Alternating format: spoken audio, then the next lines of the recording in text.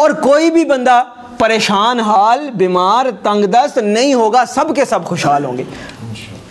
और इमाम मादी ऐसे देने वाले होंगे कि जो आएगा उसको गिन के नहीं देंगे झोलियाँ भर भर के देंगे।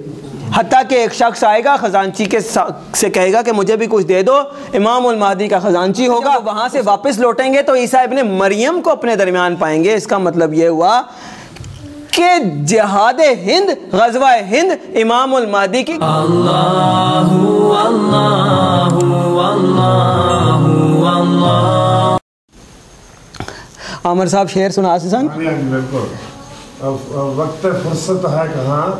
काम अभी बाकी काम अभी बाकी है। नूर तोहीद। का अतमाम अभी बाकी है। नूर तोहीद का अतमाम अभी बाकी है। अतमाम करना है दुनिया के ऊपर अल्लाह का निज़ाम कायम होगा। आप सल्लल्लाहु अलैहि वसल्लम का वादा है कि क्यामत से पहले इस्लाम गालिब होकर रहेगा। इस ज़मीन के हर घर में इस्लाम दाखिल होगा। हमारे ऊपर जुल्म करने वाले, हमारे ऊपर झूठियाँ, हुक्मरानियाँ जिताने वाले, हमारे बच्चों को मारने वाले, हमारी बच्चियों की इज्जतें तोड़ लूटने वाले हमारे खून के प्यासे लोगों के घरों के अंदर इस्लाम दाखिल होगा। वो वक्त इनशाला इनशाला ये ज़मीन, ये कायनात वो वक्त देखेगी कि इस्लाम दुनिया के हर, इस ज़मीन के हर घर में दाखिल होगा। और अल्लाह ताला अल्लाह ताला मेरे आपके जैसे ज़मीन पर मिट्टी में बैठने वाले लोगों को दुनिया की हुकूमत अता फरमाएगा। वादीना आमनु वामिलसालिहाती लयस्तखलिफन्नहुम फिल अर्ज़।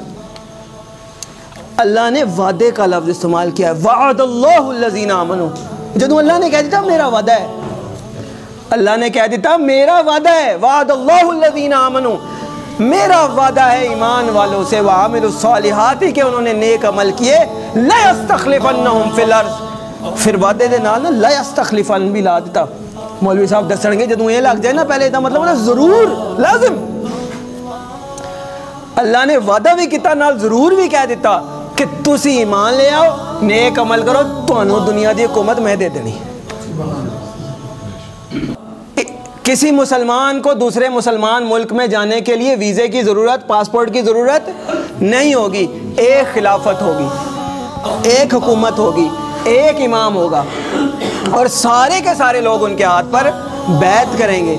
तमाम फ़िरके, जमातें, ज़ातें सब ख़त्म। एक इमाम और सब मुसलमान पीछे पैरोकार। जो हुक्म वो देंगे, सब मानेंगे। और फिर क्या होगा? अल्लाह की रहमत ऐसे बरसे कि शिरक को ख़त्म किया जाएगा सबसे पहले। बुतों को तोड़ा जाएगा। शिर को ख़त्म किया जाएगा। आप सल्लल्लाहु अलैहि वसल्लम की सुन्नतें आम होंगी। और आप वसल्लम ने फरमाया कि उनकी जो सूरत होगी, मेरी सूरत के मुताबिक नहीं होगी शक्ल सूरत, लेकिन इखलाक मेरे इखलाक के मुताबिक होगा। तो फिर क्या होगा कि अल्लाह ताला की रहमत बरसेगी, ज़मीन अपने ख़जाने खोल देगी। और आप वसल्लम की हदीस से हमें ये पता चलता है कि ज़मीन अपनी फ़सल में से कुछ भी नहीं रखेगी, सारी की सारी फ़सल उगा देगी। जो फ़सल लगाई जाएगी, बरकत ही बरकत। और आसमान अपनी बारिशों में से कुछ भी नहीं रोकेगा, सारी की सारी बरसा देगा। हर वक्त हर तरफ़ अल्लाह की रहमत होगी। और कोई भी बंदा परेशान, हाल, बीमार, तंगदस्त नहीं होगा, सब के सब खुशहाल होंगे। और इमाम मादी ऐसे देने वाले होंगे कि जो आएगा उसको गिन के नहीं देंगे, झोलियाँ भर भर के देंगे। हती कि एक शख्स आएगा ख़जानची के से कहेगा कि मुझे भी कुछ दे दो, इमाम मादी का ख़जानची होगा, उसको माल देगा, गिने बगैर ऐसे डाल देगा। सोना चांदी जवाहरात वो, उसको तसल्ली नहीं होगी, वो और मांगेगा। कहेगा, मनु होर दवो होर पा देंगे। पूछणगे, नहीं, इन्ना की करना है? वो फिर कहेगा, उन्हें होर पा देंगे। ਉਹ ਕਰਦਿਆਂ ਕਰਦਿਆਂ ਉਹਨੂੰ ਇੰਨਾ ਉਹਦੇ ਕੋਲ ਹੋ ਜਾਏਗਾ ਸਾਹਮਣਾ ਮੁਸ਼ਕਿਲ ਹੋ ਜਾਏਗਾ ਲੈ ਕੇ ਜਾਣਾ मुश्किल हो जाएगा फिर सोचेगा मैं उम्मत मुहम्मदिया में मैं ही सबसे लालची हूँ वो कहेगा हूँ वापस ले लो बहुत ले लिया वो कहेगा वापस ले लो बहुत ले लिया है ते खजानची भी इमामुल महदी का खजानची की कहेगा दे के वापस नहीं, नहीं लेते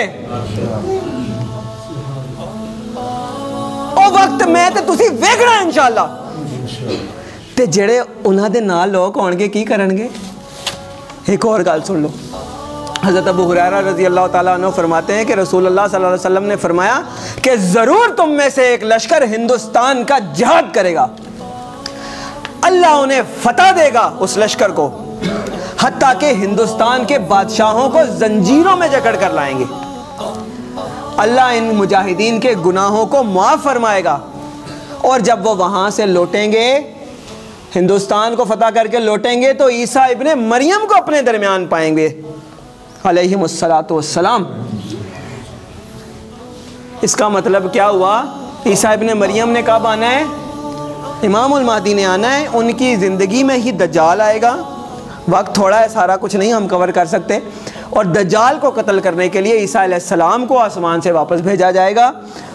वो दज्जाल को कत्ल करेंगे और उसी के बाद फिर याजूज माजूज आएँगे ये साथ साथ एक ही दौर में, एक ही वक्त में सारी चीज़ें होंगी। सबसे पहले इमामुल मादी, जब उनका दौर गुजर जाएगा, अमन का, फिर उसके बाद दजाल फिर हज़रत ईसीम फिर उसके बाद याजूज माजूज तो इसका मतलब क्या हुआ कि जब वो वहाँ से वापस लौटेंगे तो ईसा इबन मरियम को अपने दरमियान पाएँगे। इसका मतलब ये हुआ कि जहाद हिंद, गजवा हिंद इमाम मादी की क्यादत में लड़ा जाएगा।